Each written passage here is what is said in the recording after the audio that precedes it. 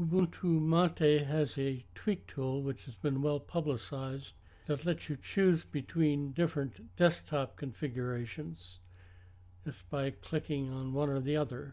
However, you can also do your own tweaks. Basically, I like the default configuration, but I'd like to point out the different menus that are available. I'm going to right click on the top panel and click on Add to Panel.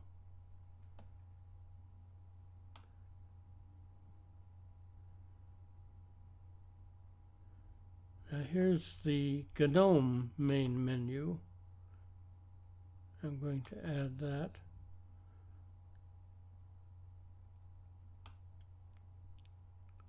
Here's the main menu. I'm going to add that.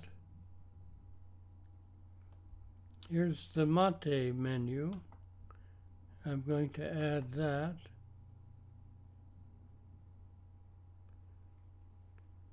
And here's the menu bar. I'm going to add that. I'm going to close this. If you notice, the menu bar is actually what comes by default. It's the traditional three-part GNOME menu, applications, places, and systems. And of course, this is the same thing, applications, places, and system. So I'm going to delete that for now since we already have it. The one in the middle is the main menu. It has one main heading. And if you notice, places and system are included as part of the main menu. Otherwise, it works very much like the other menu. Open the calculator.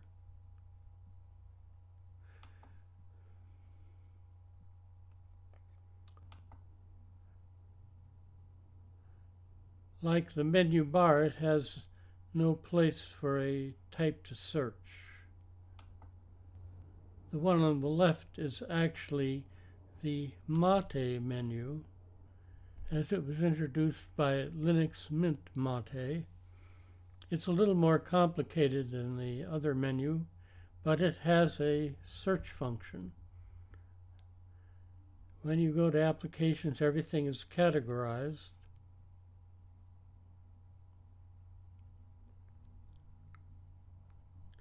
The only disadvantage when you have an enclosed menu like this is that you have to scroll up and down occasionally.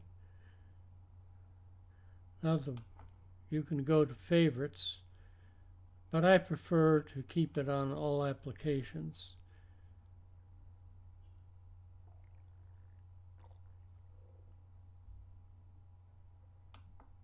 And if you right click on it, you can see the preferences.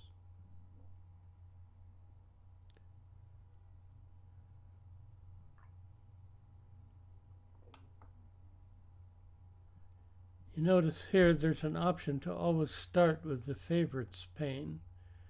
And I've found, for instance, in Linux Mint that that is often the way it is set up. But here it is unchecked, and I prefer to leave it unchecked because I prefer to go directly to applications. Now the one on the right is the so-called GNOME menu. It has a search bar too, However,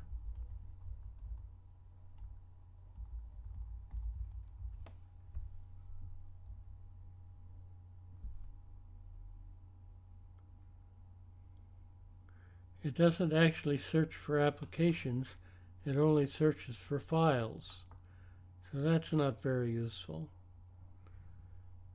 Applications, documents, places, now if you want to see more applications, click on that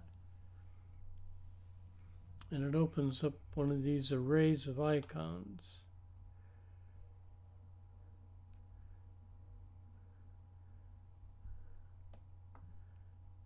I don't particularly like that, but if it's your cup of tea, it's available. I wouldn't delete the default application until I had other choices in place because it might be rather difficult to do anything. However, I'm going to delete it now, remove from panel, and I'm going to use this main menu and I'm going to click on move and move it over here to the far left. So now that's my default menu style.